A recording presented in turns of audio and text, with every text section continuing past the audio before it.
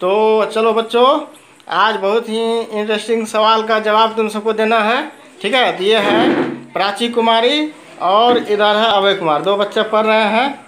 तो चलो, अब तुम लोग को, तुम लोगों के लिए सवाल है, ठीक से सुनना, ठीक है? सवाल यह है कि एक टोकरी है। क्या है? बोलो।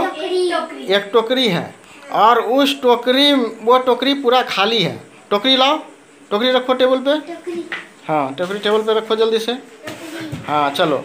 अब ये टोकरी क्या है? देखो टोकरी पूरा खाली है देखो हाँ, पूरा खाली। खाली है टोकरी पूरा? हाँ, है ना? यस यस तो अब हमारा सवाल यह है कि इस टोकरी में कम से कम कितना आम रखें कि यह टोकरी खाली नहीं रहे? ठीक है? सवाल फिर से सुनो कि इस टोकरी में कम से कम कितना पीस आम रखेंगे कि यह टोकरी खाली नहीं रहेगा? तो चलो इसका जवाब दो। एक आम रखेंगे। एक आम खाली नहीं होगा। एक आम रखेंगे एक टोकरी खाली रहेगा। एक टोकरी से भर जाएगा। एक आम से टोकरी भर जाएगा। हाँ। हैं? एक आम से टोकरी भर जाएगा। नहीं। तब? फिफ्टी आम से भर जाएगा। फिफ्टी आम से भर जाएगा। हाँ, एक आम से खाली रहेगा। तो मेरा सवाल का जवाब क्या हुआ? कितना आम रखने पर टोकरी खाली नहीं रहेगा? एक आम रखने से टोकरी खाली नहीं रहेगा। कैसे? कैसे क्योंकि टोकरी पूरा खाली था उसमें एक आम एक आम रखेंगे तो टोकरी खाली कैसे होगा? लेकिन उसमें एक आम तो रखा हुआ है ना? हाँ बिल्कुल सही जवाब है। तो वही सब रीजनिंग है। जैसे मान लो कि ये टोकरी है आदमी- आप सब सोचेंगे कि कितना रखेंगे नहीं रखेंगे कैसे पता चलेगा? तो देखिए अब मान लो आम निकालो इससे। टोकरी से आम निकालो तो हाँ निकाल दिए ये पूरा आ- खाली हो गया। खाली हो गया? अब हमारा सवाल यह था कि टोकरी में कम से कम कितना पीस आम रखें कि टोकरी खाली नहीं रहेगा? तो वन आम। वन देखो प- पहले टोकरी खाली था जैसे ही उसमें एक आम रखे तो टोकरी क्या हुआ? भर भर नहीं गया। टोकरी खाली नहीं रहा। मतलब सवाल ये था टोकरी खाली नहीं रहना चाहिए। तो कम से कम एक आम रख दिए टोकरी खाली नहीं रहा। ठीक है? तो चलो।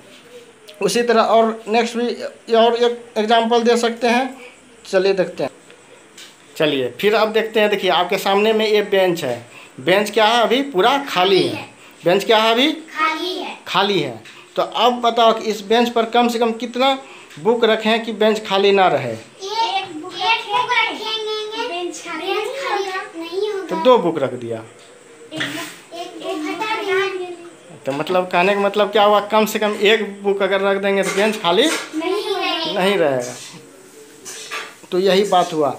तो सवाल ऐसे आदमी का दिमाग में क्या आ रहा था कि कैसे जानेंगे इतना बड़ा टोकरी में कितना आम रखेंगे गिनना पड़ेगा ये वो है ना? और निश्चित भी नहीं है कोई थोड़ा अधिक हटा देगा कोई कम हटा देता लेकिन कि यहाँ सवाल यह था कि कम से कम कितना रखें कि वो खाली नहीं रहे। तो एक भी है तो खाली नहीं है ठीक है?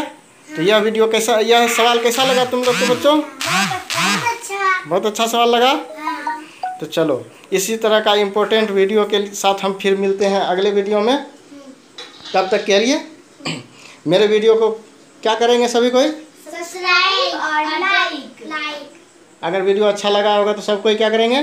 सब्सक्राइब बेल आइकन को दबा दीजिएगा और लाइक भी कर दीजिएगा और शेयर भी कीजिएगा। चलो। मिलते हैं अगले वीडियो में तब तक के लिए जय हिंद जय भारत।